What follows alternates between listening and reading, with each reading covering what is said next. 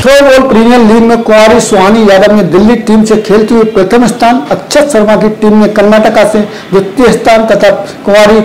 कहकशा खान की टीम ने मुंबई में चतुर्थ स्थान प्राप्त किया। जिला थ्रोबॉल संघ के अध्यक्ष सौरभ सक्सेना ने बताया कि जिला थ्रोबॉल संघ के तीन खिलाड़ियों द्वारा थ्रोबॉल प्रीमियर लीग बालक तथा बालिका वर्ग में दिनांक 20 से 23 फरवरी 2021 तक सिलीगुड़ी, पश्चिम बंगाल में भाग लिया था। कुमारी सुहानी यादव ने दिल्ली टीम से खेलते हुए प्रथम स्थान प्राप्त किया। अक्षय शर्मा की टीम ने कर्नाटका ने प्रतियोगिता में द्वितीय स्थान प्राप्त किया एवं कुमारी कहकशा खान की टीम ने मुंबई हार्ड लाइन मैच हार से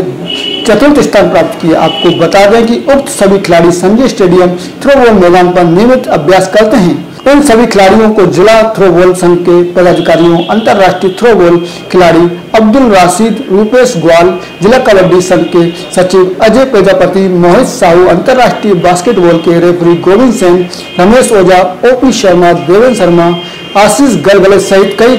खेल संघ ने बधाई दी है।